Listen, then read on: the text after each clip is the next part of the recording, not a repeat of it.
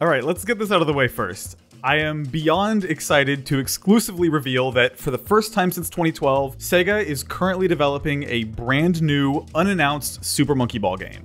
Now, I have a lot more details to share with you about this unannounced game, including an interview with somebody involved in the project, but in order for that to make sense, I need to explain how I came across this info. First, the backstory. Last year, I put together a short documentary about my hunt for the anonymous man who voiced the announcer in the original Super Monkey Ball games. You can watch that video by clicking right up here. Now, nobody knew who that voice belonged to. He was not found anywhere in the Monkey Ball credits, and all we had to go on were internet rumors. Anyways, Long story very short, one quick trip to Japan later, and I finally found the guy, a voice actor living in Tokyo by the name of Brian Matt. Ready? Go!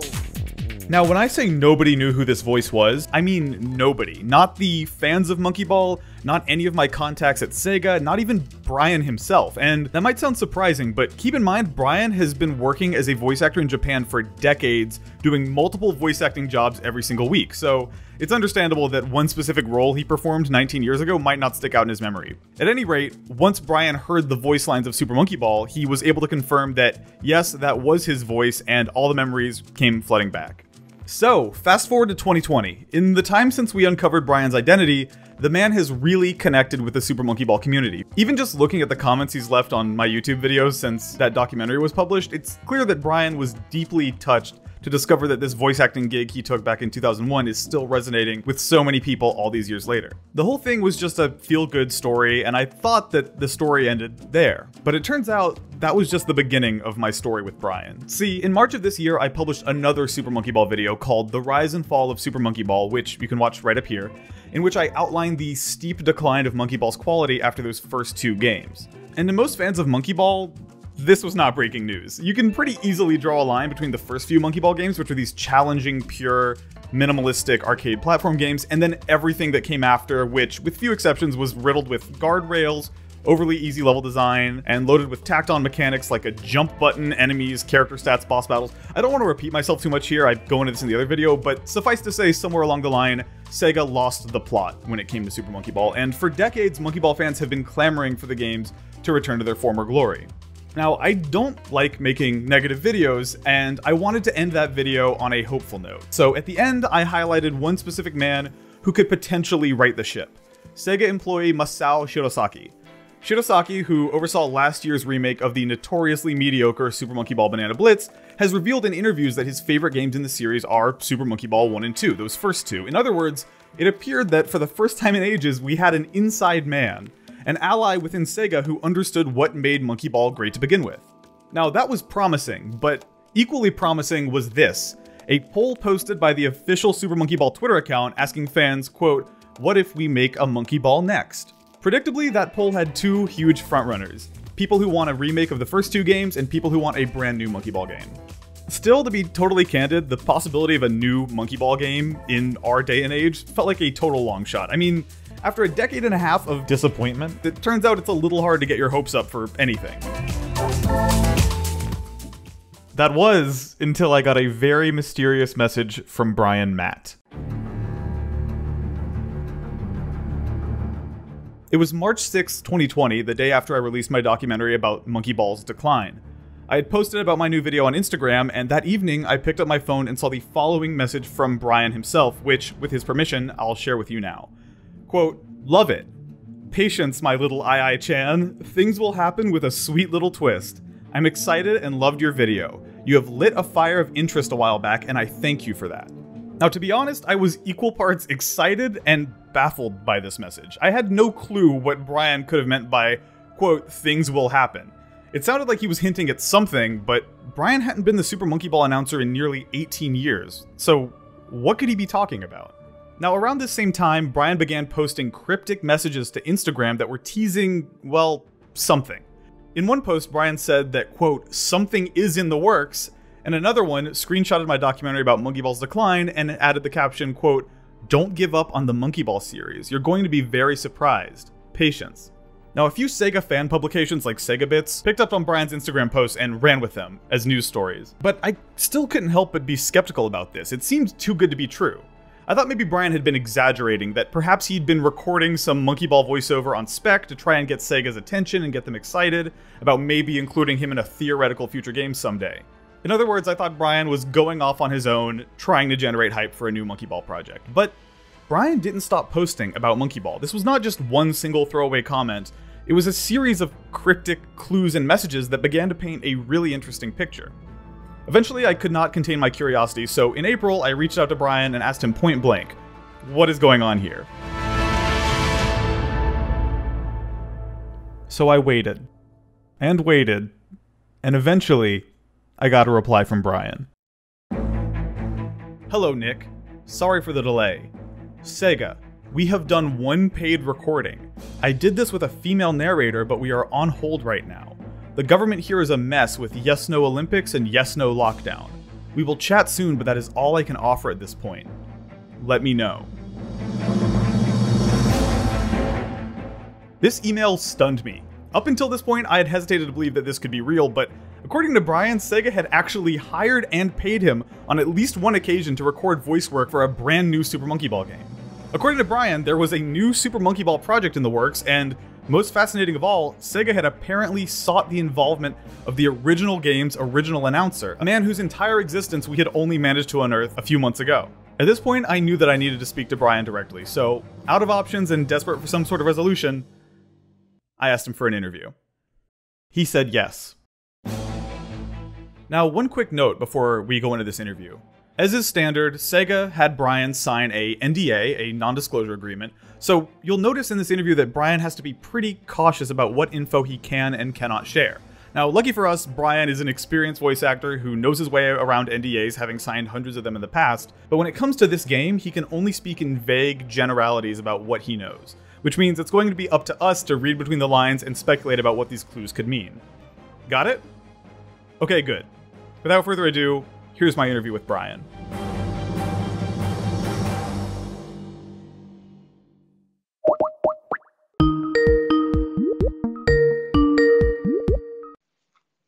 Hello. Hello. But I just wanted to double check and make sure you're okay with the recording and all that. Yeah, that's fine. That's fine. Great.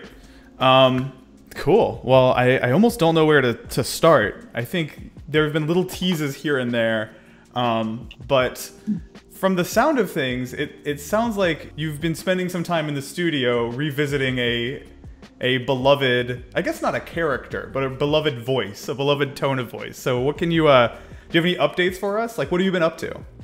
Oh, let me just say, first of all, I mean, I think you're the one who opened up uh, Pandora's box and uh, really uh, got this going again. I think this is really exciting because it means that somebody somewhere at Sega uh, was made aware that you were out there in the world, that the original Monkey Ball announcer was still out there, that our quest to, to find you was fruitful.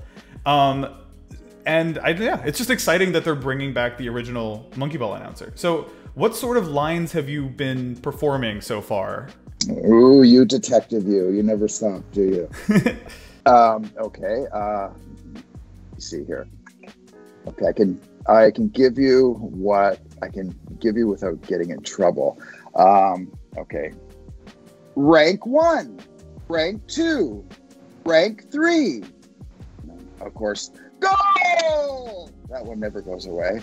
Um, yeah, this was the new one. We did two takes on this one. Advanced level one, enhanced level one, Interesting. Um, Advanced and enhanced. Now, this caught my attention right away. Anybody who's played the original Monkey Ball games is familiar with the four difficulty levels beginner, advanced, expert, and master. But enhanced was new. But before I could even begin to wrap my head around what this enhanced thing was, that was when Brian dropped another major bombshell. And uh, I do remember we went into modes, and uh, for example, um, Retro Mode 5. Retro mode. Retro mode 4. Hang on a second. Retro mode? Retro as in classic Super Monkey Ball 1 and 2 retro? Now, let's break this down. Putting aside the fact that calling the original Monkey Ball games on the GameCube retro makes me feel insanely old, this is some incredibly exciting stuff. This retro mode would mark the first time Sega actually acknowledged the huge gap between what Monkey Ball used to be and what it eventually became. And the idea that there would be some sort of a throwback mode in a new Monkey Ball game is incredibly exciting to fans of the originals. The other thing was uh, the, the the monetary or the point system, and it was quite quite quite interesting. It was like um, uh, risk 100 coins, risk one gigabyte, risk five gigabytes, like this sort of thing. What on well. earth? That is that is fascinating. I I'm trying to figure out what that could possibly uh, end up being. Oh, I know the, the other one was. Um, this was really. we didn't say this 20 years ago. Uh, they said, um, "Oh, sad emoji." what? I remember that one. What? Yeah. This yeah. is. I. Are you sure this isn't a dream you had? This sounds so bizarre. uh, no, this was not a dream. This was not a dream at all. Yeah. Wow. Sad emoji. Happy emoji. Excited. You know, like these kind of things. I was it just a test or was it a take? Um, sometimes we do takes um, and they use it, like you said, or they don't use it. So I really don't have an idea on that one. Well, that is either way. It is that is fascinating. All right, so what about new characters? Well, listen to this. I, I know it always depends, like it varies project to project, but for this upcoming Monkey Ball project, have you seen any gameplay yet? Like, have you seen the game in motion, or is it not that stage yet? Um, what I have seen so far, we had um, uh, different, like you know, different parts that we had already recorded, and there was some things like you know, um, doing some of the gamers, some of the names now that we have, like you know, the, the roles, and I remember. Um, I'll be careful here. Okay. Blah blah blah blah. Gamer go go, and you know we added some additions there, and so I could see what go go uh, looks like, um, and I could they did a really nice presentation. Um, and uh, it's not the actual game itself; it's just snippets of, of footage that they've already uh, completed or they've already designed. So, and bear with me because we're veering into rampant speculation territory here. When Brian talks about the gamers, I, I think what he actually means is players, like play playable characters, okay? So when he says go-go, what does go-go mean? Well, if we look at the naming conventions of other Monkey Ball playable characters, most of them fall into that two-syllable repeated sound pattern. I, I, MeeMee, gon, gon, yan, yan, and so on. So personally, my theory Go-Go is a new playable monkey being introduced in this game.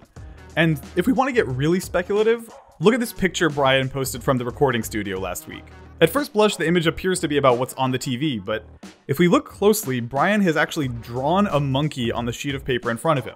Now, we know Brian has a penchant for dropping clues on Instagram, so you have to wonder, could this sketch be our first look at the character design for Go-Go? Again, take that with a grain of salt, that is unabashed speculation from me, but that's my theory. Now, if you're like me, the most exciting part of this so far has still been the retro mode stuff, and as exciting as that is on its own, talking to Brian a bit more, it became clear that retro might not just be a mode in this new game, it might extend to the game's entire philosophy. And, and I guess lastly, I'm do you have any idea what they might be thinking in terms of a name or a title for this game? Uh, let's see here. Script. I think they're going to actually go back to bringing the original and mix it with what we have now. Mm. So I would just say stick with the good old days and we'll try to think of a, a word that uh, you could pick from the past. I um, blah, blah, blah, blah. I think I might have already said one of the words already. I have a feeling, um, a very very strong feeling, because um, there's no title call for it, but I, I can see as many times as I said it. I, I, I they're not going to go numbers again because mm-hmm. the people that missed out 20 years ago, Monkey Ball, Super Monkey Ball three, you know, while it's a good idea, you know the hardcore fans like yourself understand that one and two were this and then everything onwards was mm, this. Yeah. And so I think, yeah, they're going to go with Super Monkey Ball and then one word, and it's not going to be a number. They need to have something that transfers over to um, over to katakana. So I I, think that, I, and I don't know, you know, as far as the Japanese market, uh, I do know one thing that they've not uh, used any Japanese uh, narrators for this one, which is really interesting. That is interesting. All right, so let's switch back into speculation mode. What do we know about this title? We know it is not a number, so we can take names like Super Monkey Ball 3 off the table for now. We know that the title is one word, as in Super Monkey Ball colon blank. We know that it must be a word that can be easily translated into katakana for the Japanese audience. And lastly, and perhaps most crucially, it's a word that Brian has already said in this interview. Now, that still leaves us with a lot of possibilities, but how can we narrow this down? Well, and this is the bit of detective work I think I'm proudest of, if we rewind back to when Brian pulls up that script in his own coy way and makes eye contact with the camera, if you look closely, we can just barely make out three katakana characters at the bottom of the screen Re, To, and Ro. Now sound that out. Re, To, Ro. What does that sound like to you? Because to me, it sounds like retro. In other words, all signs point to the working title and perhaps the final title of this new Super Monkey Ball game, Super Monkey Ball Retro. Which to me says this is a game about what Monkey Ball used to be.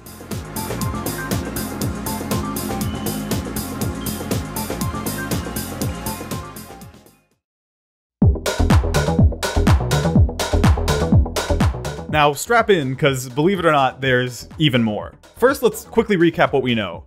We know Sega is developing a new Super Monkey Ball game, we know that its working title seems to be Super Monkey Ball Retro, and we know that the game appears to be focused on recapturing the classic Super Monkey Ball gameplay that fans love best.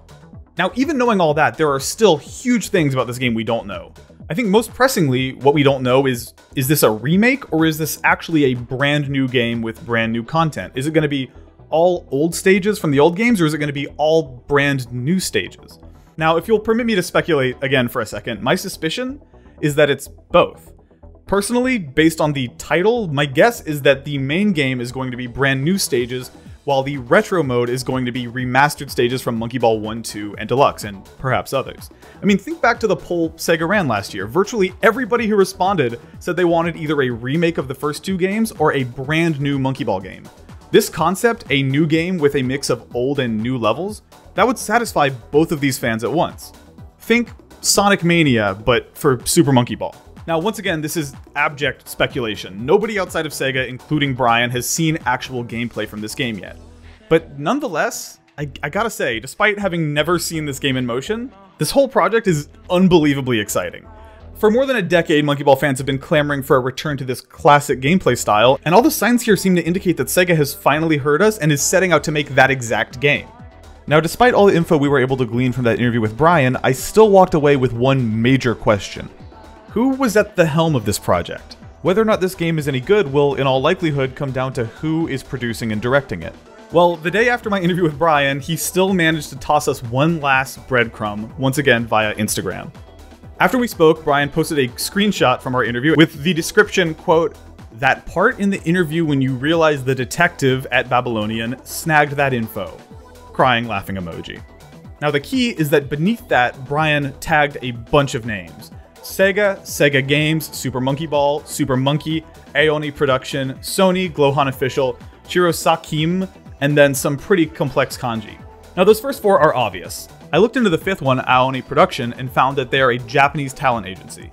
The sixth name, Glohan, is the music producer who Brian recently befriended, who's behind Super Monkey Ball remixes that keep showing up on famous rappers' mixtapes like Lil Uzi Vert, Famous Dex, and more. You can catch my interview with Glohan up here, by the way. Now, Sony, I have no clue what that's doing on Brian's post. I guess he could be hinting that the game is coming to PlayStation, but from my conversation with Brian, I really didn't get the sense that the platform for this game has been decided yet. So it, it could be as simple as them recording the voice work at a Sony studio. Who knows? Either way, it is inconclusive. But these last two names, these last two, man, they these for me are the really exciting ones. Okay, first at Shirosaki, or at Shirosaki M. Now, if Shirosaki M sounds a little bit familiar to you, think back to the beginning of this video. Remember the guy I told you about? The guy within Sega who oversaw the Banana Blitz remake and prefers the original two Monkey Balls? That dude's name was Masao Shirosaki. And sure enough, the name on the account, Shirosaki M, is Masao Shirosaki. Now, as for the kanji at the end, it is a name. A first and a last name. A man's name.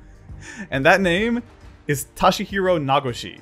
Now, anybody who watched my video about the downfall of Monkey Ball knows this name very well, but if you don't, Nagoshi is the creator of the Yakuza series, and more critically, he is the director of and the creator of the very first Super Monkey Ball game. Insanity.